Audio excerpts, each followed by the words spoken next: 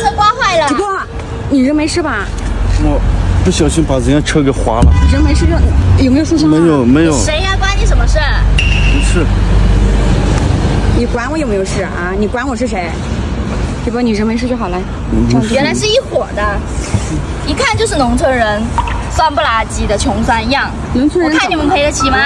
不是，你这个美女今天早上起床的时候是不是没有刷牙啊？农村人怎么了？农村人你也是惹不起的，你知道吗？快别说了，别说了。你拉着我干什么？你看看他把我们车都刮坏了。小王，多少钱啊？顾总，不好意多思，多少钱？你说多少钱？看一看这刮坏的地方，十万块钱。别说了，别说了。十万块钱，你怎么不去抢啊？啊？哎，这个车，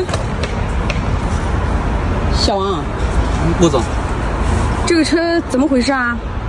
不好意思，顾总。我不是让你去保养吗？车怎么会在这里出现？对不起，顾总。小王，怎么回事？他死了，怎么回事？顾总，哦，这位美女是嗯，她是我女朋友。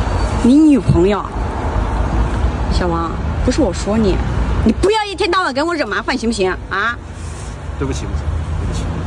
你，我真的不知道这该怎么说你。我上次是不是给过你机会啊？你做事能靠谱一点吗？这个是你的车吗？没事，没事，你人没事就好。你看你都弄脏了，你你车被我刮昏，你没关系，嗯，没关系。你我多少钱呀、我赔，我赔吗？我赔。你赔给谁呀？小王，我现在不说你，等我回去再好好收拾你。对不起，他们说要找你。嗯，顾总，对不起，今天是我们的问题。小王，你到底要让我怎么表扬你才是对的呢？你跟我讲一下，你知不知道什么叫做事不过三？聪明的人嘴甜，讨厌的人会演，而你呢，小王，你是不是觉得抓住现实中的一分一秒，胜过想象中的一月一年就过了呀？小王，你太让我失望了。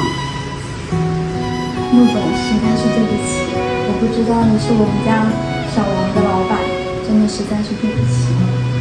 还有你就是小王的女朋友是吧？你虽然不是我的员工，但是这个我也要批评你一下了。得饶人处且饶人，退一步海阔天空，忍一时风平浪静。做人要留一线，日后好相处，这个道理你懂吗？小王，我今天的话也不跟你们两个讲太多，你俩回去好好反思一下吧。你俩先回去吧。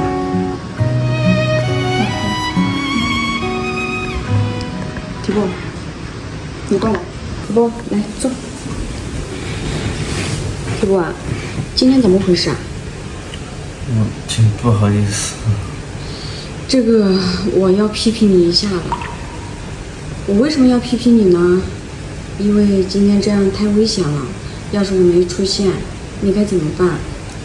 对了，你刚刚出去是干嘛的呀？我我想着是给给你买一碗饭去的，因为我看你平时都很少吃饭，忙着，嗯没想到又添加了很多麻烦。